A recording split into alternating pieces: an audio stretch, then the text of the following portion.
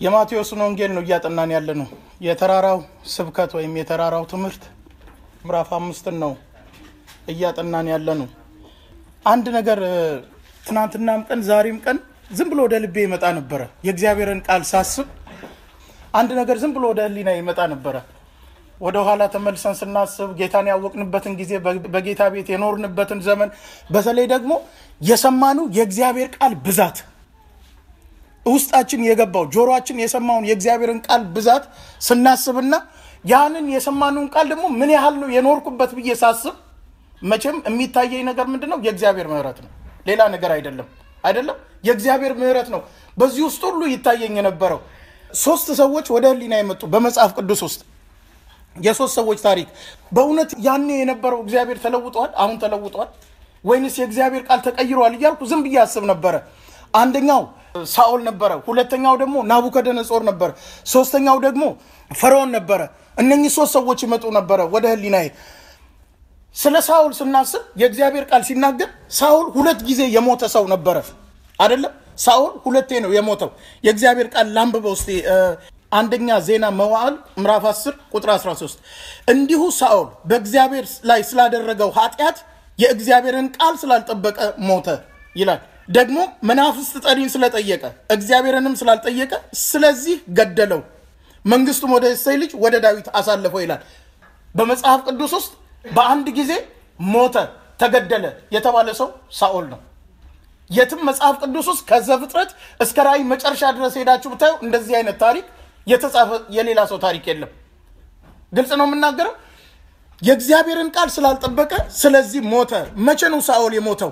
የእግዚአብሔርን ቃል የሳተ ጊዜ አማሌቅን ሂድና አጥፋ ብሎት የእግዚአብሔርን ቃል ተላልፎ በራሱ ፈቃድና ሀሳብ አማሌቅን ሳያጠፋ ስለቀረ ህፃናትን ገሎ ሽማግሌዎችን ገሎ አሮጊቶችን ገሎ ወጣቶችን ገሎ አማሌቅን ንጉሥ አጋግን ይዞ ወደ ጌልጌላ ሄደ። ደግሞ የወፈሩትን የደለቡትን በጎችና በሬዎች ይዞ ወደ እስራኤል ሄደ። ስለዚህ ሳሙኤል ሲመጣ ያለው ምንድን ነው? ለምንድን ነው የእግዚአብሔርን ቃል የናከው? ለምንድን ነው የእግዚአብሔርን ቃል ያልሰማው? እግዚአብሔር አጥፋ ብሎ ነበረ። በጣም ትንሽ ነገር ነው ሳኦል የሳተው። በጣም ትንሽ ነገር የሳተው በራሱ አመለካከትና በራሱ አስተሳሰብ በጣም በእግዚአብሔር ፊት መልካም ነገር ያደረገ መስሎት ነበረ። ስለዚህ የእግዚአብሔርን ቃል የተላለፈ ጊዜ የእግዚአብሔርን ቃል ያላደረገ ጊዜ መጀመሪያ ሳኦል በመንፈሱ ነው የሞተው። አይደለም ሰው ሰምቶ የእግዚአብሔርን ቃል ሲከላከል ወይ ሳያደርግ ሲቀር ያን ጊዜ በመንፈሱ ይሞታል። ሳኦል በመጀመሪያ በመንፈሱ ሞተ። ሞተ፣ ተገደለ። እንዴት ይላል? እንዴት አንድ ሰው ሞተ፣ ተገደለ ይባላል? የእግዚአብሔርን ቃል የተላለፈ ጊዜ ሳኦል ሞተ። ሁለተኛ ደግሞ አደለ እግዚአብሔርን መጠየቅ ትቶ የሙታን መንፈስ ያለባትን ሴት ሙታን አናጋሪን ሄዶ ስለጠየቀ፣ ስለዚህ ደግሞ እግዚአብሔር ገደለው። በነፍስም በስጋም የሞተ ሰው ነበር። ለምን ሳኦል ሞተ? የእግዚአብሔርን ቃል ስለተላለፈ። ናቡከደነጾር ጋር እንሂድ። ናቡከደነጾር ደግሞ የትዕቢት መንፈስ ያለበት ሰው ነበረ። ኩሩ መንፈስ ያለው ሰው ነበረ። ትዕቢተኛ ሰው ነበረ። አይደለም እግዚአብሔር መቼም በመጽሐፍ ቅዱስ ውስጥ ስናይ የእነኝህ ሰዎች ታሪክ ለምሳሌ ያወጣው እንጂ እንዳካሄዳቸውና እንዳመጣጣቸው እንደ ማንነታቸው ነው የተቀጡት። ይሄ ሰው በጣም ኩሩ መንፈስ ያለው ሰው ነው። ትዕቢተኛ ሰው ነው። እግዚአብሔር በህልም አሳየው። አንድ ዛፍ ሲያድግ ዛፉ ደግሞ ከላይ እስከታች ድረስ ሲጨፈጨፍ ቅርንጫፉ ቅጠሉ ሲረግፍ አሳየው። ህልሙ ምን እንደሆነ አልገባውም። ዳንኤል ሄዶ ህልሙን ፈታለት። ዳንኤል ግን አንድ ነገር ብሎት ነበረ። ኃጢአትህ ይቀርልህ እንደሆነ ንስሐ ግባ በቁርባን ይህንን ኃጢአት አስቀር ብሎት ነበረ። ሰውየው ግን ልቡ ኩሩ መንፈስ ስላለው ትዕቢተኛ ስለሆነ ይሄን አላደረገም ነበር። ተሳሳተ። ሰገነት ላይ ወጥቶ ባቢሎንን አይቶ ለግርማዊ ክብር ያሰራዋት ታላቂቱ ባቢሎን አይደለችም ወይ ሲል ድምፅ ከሰማይ ሲመጣ ያለው አንድ ነገር ነበር። ናቡከደነጾር ወይ አስቀድሞ ተነግሮ ነበረ ሰምተ ነበረ። ለምን ንስሐ አልገባህም? ስለዚህ በሬ ትሆናለህ። ትዕቢተኛን ደግሞ እግዚአብሔር ወደ ጫካ ነዳው። ወደ ፈርዖን ደግሞ እንመለስ። ፈርዖን ደግሞ የሰራው ያገለግለኝ ዘንድ ህዝቤን ልቀቅ፣ ቃል ሄደለት። ማን ነው ይሄን የላከ አለ። እግዚአብሔርንም አላቅም ህዝቡንም አልለቅም። ከአንድም አስር ጊዜ ተናገረው አደለ? ቃል ቃል ቃል ሄደለት። የፈርዖን መንፈስ ደግሞ ምን አይነት መንፈስ ነው? ደንዳና መንፈስ ነው። አንገቱን የሚያደነድን ልቡን የሚያደነድን አልሰማ የሚል በቃ በግድ የእግዚአብሔርን ቃል አልሰማም የሚል መንፈስ ነበረ። የፈርዖን መንፈስ ደንዳና ልብ ያለው ሰው ነበረ። ፈርዖን ደግሞ ለእሱ ደግሞ እግዚአብሔር ያዘጋጀለት ነገር ነበረ። ምንድን ነው? ባህር። መጽሐፍ ቅዱስ ብናወጣ የብዙ ሰው ታሪኮችን ጎልጉለን ማውጣት እንችላለን። ለምንድን ነው እነኚህ ሰዎች ወደ እንደዚህ አይነት ነገር የመጡት ብለን ስናስብ የእግዚአብሔርን ቃል እየሰሙ እንደ እግዚአብሔር ቃልነቱ አለመቀበላቸው ነበረ ቃሉ ያሳደዳቸው። ቃሉ መልሶ አሳደዳቸው። ሁልጊዜ ጠቅሼዋለሁ። በጣም አመፀኛ የነበረ ሰው ደግሞ በመጽሐፍ ቅዱስ ውስጥ እውነትም ለመናገር እንደሱ አይነት ሰው የሌለ ሰው አካብ ስናስብ በታሪክ የለም የአካብ አይነት ሰው መጽሐፍ ቅዱስ ሲናገር ከአባቱም ከአባቱም በፊት ከነበሩት ነገስታቶች ይልቅ እጅግ ክፉ ነገር አደረገ ተብሎ በመጽሐፍ ቅዱስ ውስጥ የተጠቀሰ ንጉስ ነው። ከዚህም በፊት ተናግሬዋለሁ በሆነ ትምህርት ላይ ቁጭ ብሎ አስቦ አንድና አንድ ብሎ አስቦ እግዚአብሔር ለመበደል የሚያስብ ሰው ነው። አካብ በጣም የተለየ ሰው ነው። ፍርድ ሲመጣ የእግዚአብሔርን ቃል ሲሰማ ወገብ ይቆረጣል ሲለው፣ ቤት ይቆረጣል፣ ዘር ማንዘር ይቆረጣል ሲለው ግን አንጀቱን አጠፈ፣ ልብሱን ቀደደ፣ ማቅ ለበሰ፣ በእግዚአብሔር ፊት ቀሰስ ብሎ ሄደ ይላል። ገባ ወዲያው። የእግዚአብሔርን ምሕረት ስታዩ ደግሞ ገና ኤልያስ ተናግሮ ዞር ሳይል ኤልያስን ተመለስና ለአካብ እንዴት በለው አየህ በፊቴ እንዴት እንደሄደ። ዛሬ ስለምናገረው ቃል ብዬ አይደለም። ብዙ ቃል ሰምተናል። ብዙ ቃል እግዚአብሔር ተናግሮናል። ብዙ ቃል ወደ ውስጣችን ገብተዋል። በየትኛው ቃል ነው እየኖርን ያለ ነው? በውስጣችን የእግዚአብሔር ቃል ባይኮታ ያደርጋል ወይ? እንኖረዋለን ወይ? ወይስ እያለፈን ነው የሚሄደው? እየሰማን ነው የሚሄደው? አንዳንድ ጊዜ ቅድም እህታችን ብላለች፣ እየሰማኑ ቃሉ በውስጣችን ኖሮ በህይወት ያለን መስሎን ግን ደርቀን ሊሆን ይችላል፣ ሞተን ሊሆን ይችላል።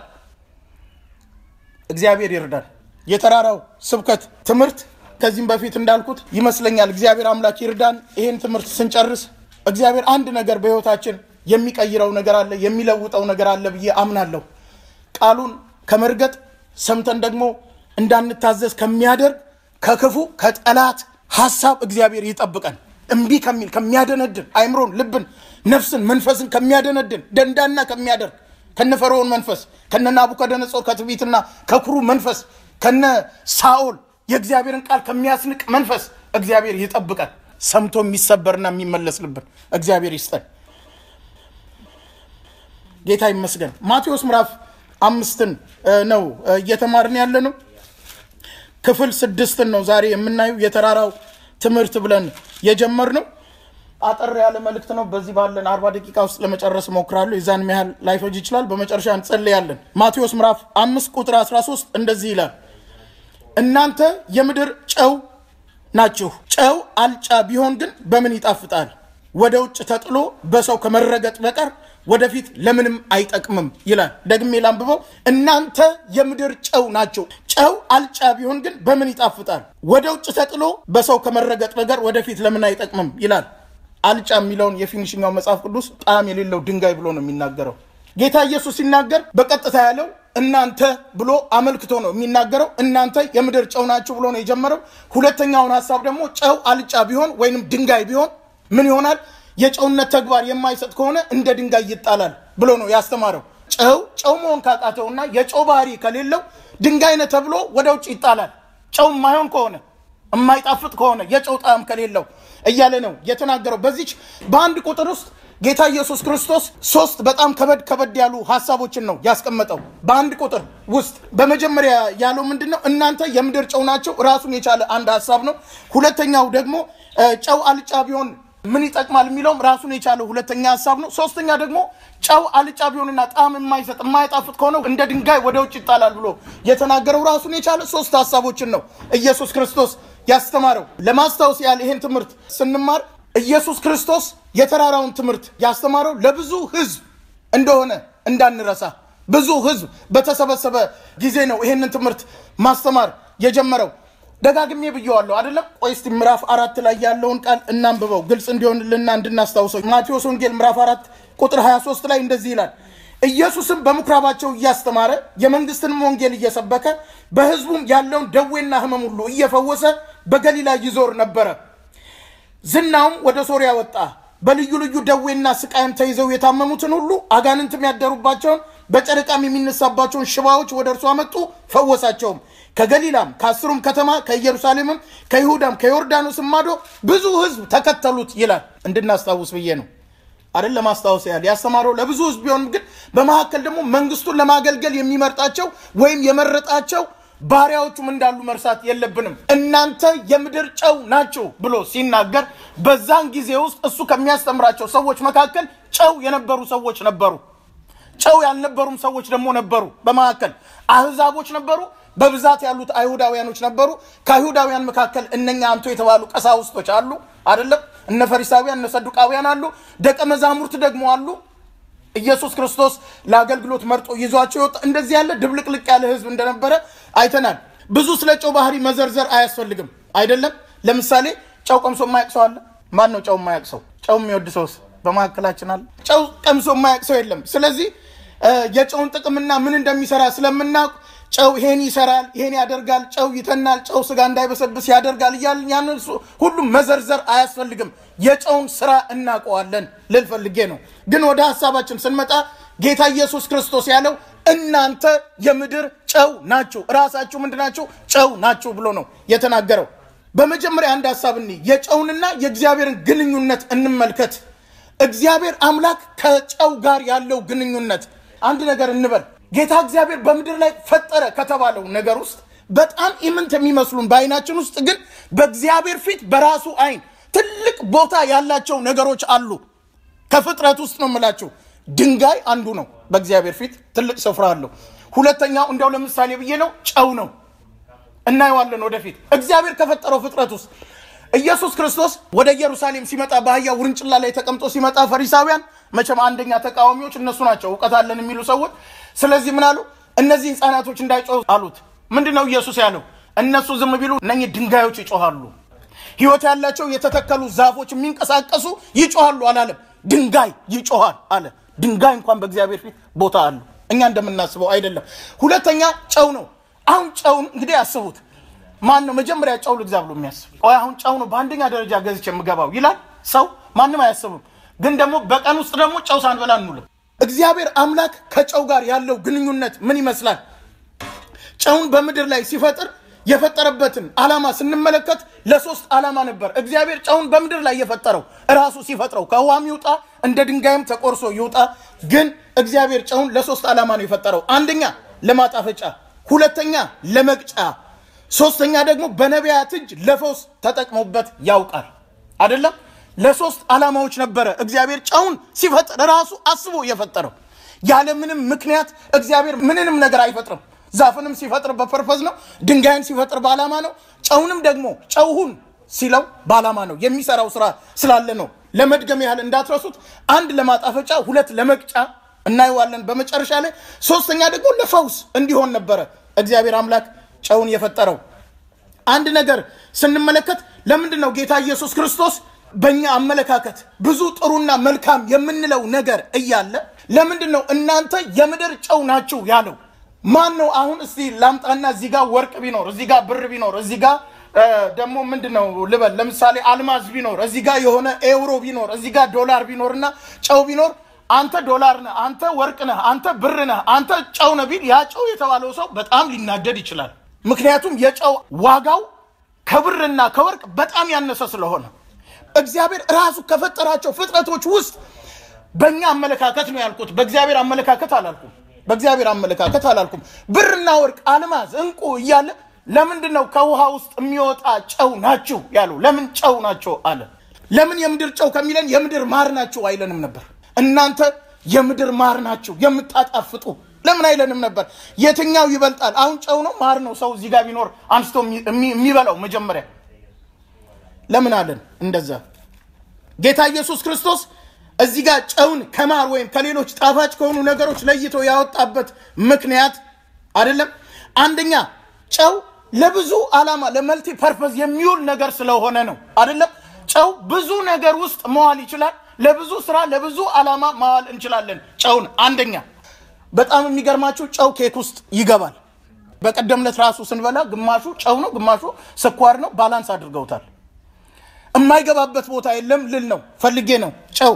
ሁለተኛ የጨውን value ለማሳየት ነበረ።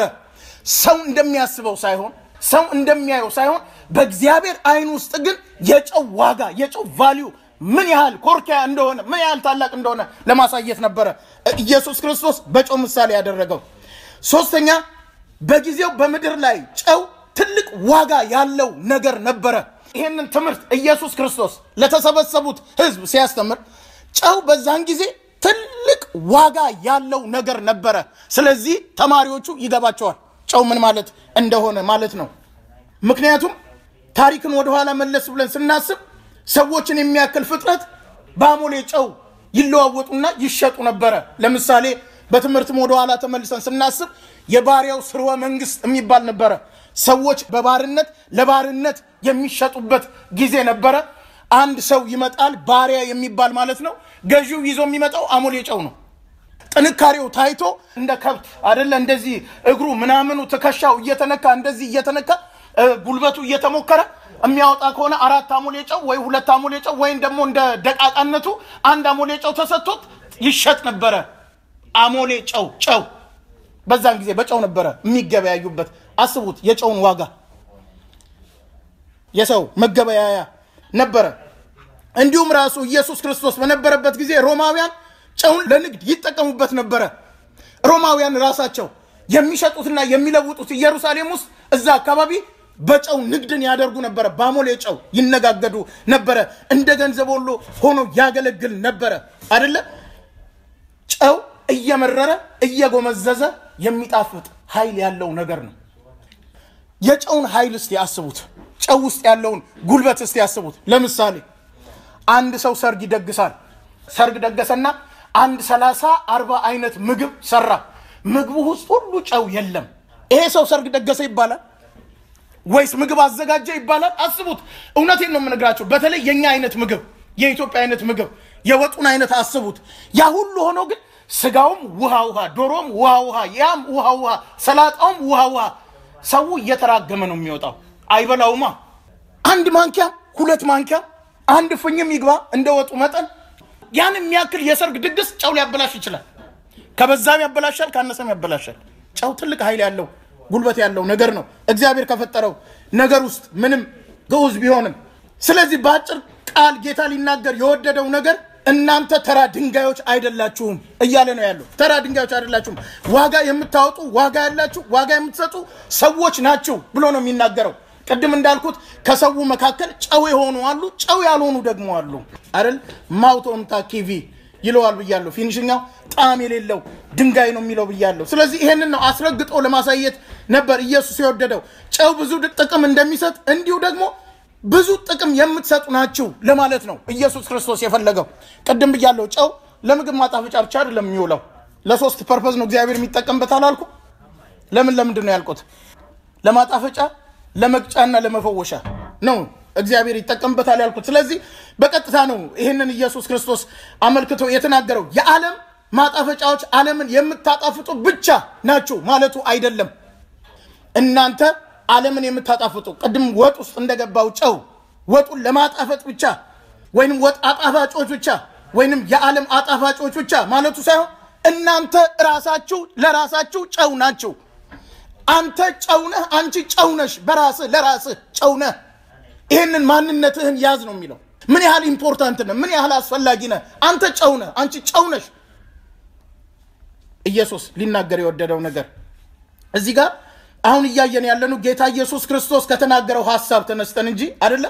ቅድም እንዳልኩት የጨውን ባህሪ ለመዘርዘር አይደለም። ወጥ ያጣፍጣል፣ ስጋ እንዳይበሰብስ ያደርጋል፣ ይሄን ያደርጋል፣ ያን ያደርጋል። የጨውን ስራውን ለመናገር አይደለም። ጌታ ኢየሱስ ክርስቶስ ከተናገረው ካስተማረው ሀሳብ ተነስተን ነው እያየን ያየ ነው እያየን ያለ ነው። ጨው በብዙ ትርጉም ልንፈታው እንችላለን፣ ግን ክርስቶስ ደግሞ እንደተናገረው መሄድ ደግሞ ይጠቅመናል። እነዚህን ሰዎች ጨውነትን፣ ጠቃሚነትን፣ ዋጋን ከየት አገኙት? እናንተ የዓለም ጨው ናቸው የተባሉት ሰዎች ከመካከላቸው እነኛ ሰዎች የጨውን ዋጋ ጨውነትን ከየት አመጡት? እንዴት ጨው ናችሁ ሊላቸው ቻለ ብለን እንጠይቅ እስቲ። ኢየሱስ ክርስቶስ ቅድም እንዳልኩት እዛ የተሰበሰቡትን ሰዎች ሁሉ ነው እናንተ የምድር ጨው ናቸው ብሎ የተናገረው ወይስ ሰው ሁሉ የምድር ጨው ነው? ሰው ሁሉ የተሰበሰቡት ሰዎች ሁሉ የምድር ጨዎች ነበሩ ወይስ ሰው ሁሉ የምድር ጨው ነው? መልሱ አይደለም። ሁሉም ሰዎች የምድር ጨዎች አልነበሩም። ግን እነኚህ ሰዎች ቅድም እንዳልኩት ኢየሱስ ክርስቶስ እናንተ በምድር ላይ ያላችሁ ጨዎች ናቸው፣ የምድር ጨው ናችሁ ብሎ የተናገራቸው ከየት አገኙት ጨውነትን? እንዴት ጨው ሊሆኑ ቻሉ? ካዳናቸው፣ ካመኑት፣ ከተቀበሉት ከጌታ ከኢየሱስ ክርስቶስ የተነሳ እንጂ ሲወለዱ ጨው ሆነው አይደለም የተወለዱት። ሲወለድ ሁሉም ጣዕም የሌለው መጽሐፍ ቅዱስ እንደሚናገረው የማይጣፍጥ ድንጋይ ሆኖ ነው የተወለደው ሲወለድ። የናዝሬቱ ጌታ ኢየሱስ ክርስቶስ የሕይወት መንፈስ የእሱ መንፈስ ሰው ውስጥ ሲገባ ነው ሰው ጨው መሆን የሚችለው። እዛ የተሰበሰቡት ሰዎች መካከል ይቅርታ አድርጉልኝ የክርስቶስ ኢየሱስ የሕይወት መንፈስ ያልገባባቸው ሰዎች ገና ድንጋይ ሆነው የተቀመጡ ሰዎች ነበሩ። ደግሞ የክርስቶስ ኢየሱስ የሕይወት መንፈስ የገባባቸው አንተ ክርስቶስ የእግዚአብሔር ልጅ ነህ ብለው አምነው የተከተሉት ቢያንስ ቢያንስ እነኛ 12 ደቀ መዛሙርቶች እመካከል ነበሩ። አይደለም ለምንድን ነው ጨው ናቸው ብሎ የተናገረው? ኢየሱስ ክርስቶስን ስላመኑና ስለተቀበሉ ነበር። ብዙ ህዝብ የተሰበሰበው እዛ ያለው ህዝብ ጨው ስለሆነ አይደለም የተሰበሰበው። ግልጽ ነው የምንናገረው። ብዙ ህዝብ ብቻ ታምር ስላየ በሽተኛ ስለተፈወሰ አጋንንት ስለወጣ ከብዙ ደዌ ስለተፈወሱ ታሪክ ሰሙ። አንድ ነቢይ ተነስቷል በሽተኞች የሚፈውስ ምን የሚል ከኢየሩሳሌም ከይሁዳ ከሶሪያ ከምናምን ተሰብስበው መጡ እንጂ ጨው የሆኑ ቤተ ክርስቲያን የሚሰበሰብ ሁሉ ሰው ጨው አይደለም። አንዳንዱ ስለተፈወሰ ነው የሚመጣው። አንዳንዱ ታምር ለማየት ነው የሚመጣው። አንዳንዱ መዝሙር ስለሚወድ ነው። አንዳንዱ በልማድ ነው የሚሄደው እንጂ ሁሉም ኢየሱስ ክርስቶስ ወይ የክርስቶስ ኢየሱስ መንፈስ ገብቶበት ጨው ሆኖ የተለወጠ ሰው ሁሉ አይደለም ቤተ ክርስቲያን ውስጥ የሚሄደው። ከዛ ውስጥ ስንት ሰዎች ነበሩ? እንደ በአይምሮ ብንገምት ወይም ደግሞ መጽሐፍ ቅዱስ እንደሚናገር ስንት ሰዎች ነበሩ ብለን ብናስብ አስራ ሁለት ሰዎች ነበሩ ደቀ መዛሙርቶቹ እሱ የመረጣቸው ሰዎች ቢያንስ ቢያንስ ጨው ብሎ የጠራቸው ሰዎች ለምን የጨው ሆኑ? ይቅርታ አድርጉልኝ። ለምን የጨውነትን ባህሪ ያገኙ? ለምን እናንተ የምድር ጨው ናችሁ ብሎ ተናገራቸው?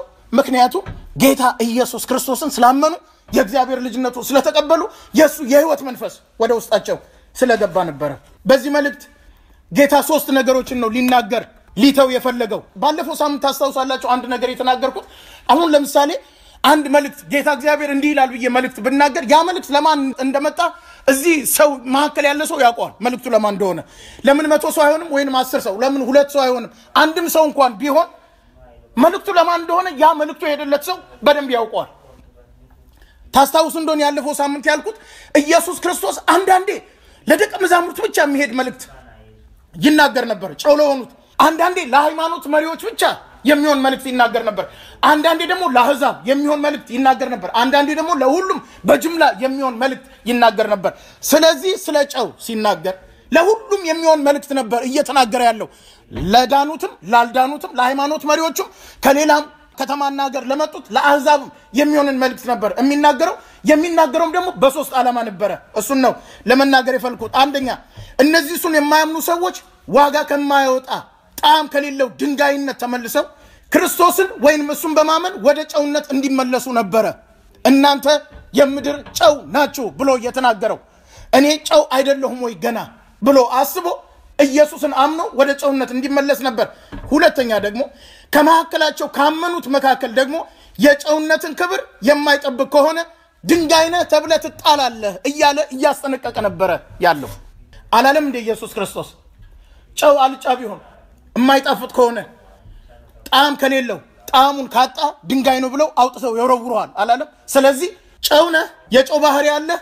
ስለዚህ ጨው መሆን የማትችል ከሆነ ደግሞ ወጥተህ ትወረወራለህ እያለ ነበር የሚናገረው። ሶስተኛ ደግሞ እነዚህ ጨው የሆኑትን እየተናገራቸው ያሉ ሰዎች ምን ያህል ለምድር አስፈላጊና ጠቃሚ እንደሆኑ እያሳያቸው ነበር ያለው አደለ።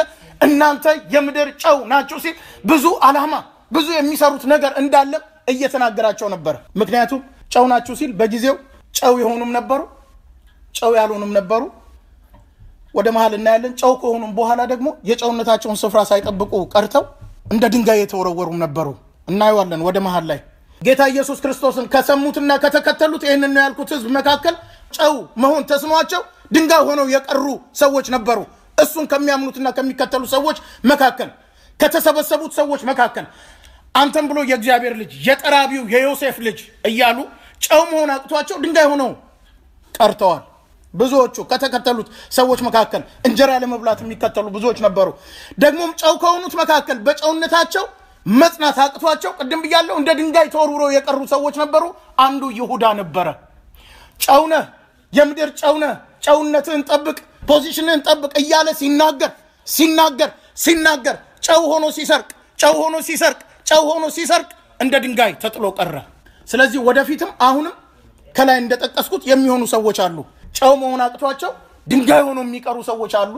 አይደለም ቃሉ እንደሚናገር ማለት ነው። ደግሞ ቃሉን ሰምቶ ወደ ጨውነት የሚመለስና የጨውነትን ስፍራ ደግሞ የሚይዝ ሰው አለ። ሁሉም አይነት ነው ያለው። ጌታ ኢየሱስ ክርስቶስ ተመልሶ ሲመጣ የሚሆነው ነገር በጣም ብዙ ብዙ ነገር ነው የሚሆነው። አንዳንዱ ይሄ ጨው የሆነውን ጨው ያልሆነውን ጨው መሆን ያቃተውን የጨውነትን ስፍራ ያልጠበቀውን ነው የመነጠረ መጀመሪያ የሚያወጣው። ጌታ ኢየሱስ ክርስቶስ ከምድር ጨውነታችን ባሻገር ማጣፈጥ የሚልን ነገር ተጠቅመዋል። ሰው አልጫ ቢሆን ምን ይጠቅማል? የማይጣፍጥ ድንጋይ ቢሆን ምን ይጠቅማል አለ። በተለይ ቃሉ ጨው አልጫ ቢሆን በምን ይጣፍጣል የሚለውን ቅድም ብያለሁ። የፊኒሽኛው ቃል ሲተረጉመው ጨው ጣዕመ ቢስ ቢሆን መጣፈጥ ከየት ይገኛል ብሎ ነው ፊኒሽኛ የፈታው። ትልቅ ድግስ ተደግሶ በምሳሌ ነው ያልኩት። ያ ሁሉ ድግስ ያ ሁሉ ወጥ ተሰርቶ ጨው ባይኖርበት ማን ነው በልቶት የሚወጣው? ሁሉም ይደፋል። መጣፈጥ ከየት ይገኛል? ስለዚህ ከክርስቶስ ኢየሱስ ንግግር ስናይ ስለዚህ ጨው ሆኖ መቀመጥ ብቻ ሳይሆን ጨው ከሆንክ value ካለህ ዋጋ ካለህ እንዲሁ የጨውነትህ መጣፈጥህ ይታይ እያለ ነው ያለው። የጨው ጣዕምህ ይታይ። ምክንያቱም ጨው ጨው ከሆነ ብዙ ተግባር አለው የሚሰራው ስራ አለ እንጂ ጨው ብቻ ጨው ነኝ ብሎ ቁጭ አይልም። ጨውነቱን ካወቀ ደግሞ የጨውነቱ ባህሪ መገለጥ መታየት አለበት፣ በስራ ላይ መዋል አለበት።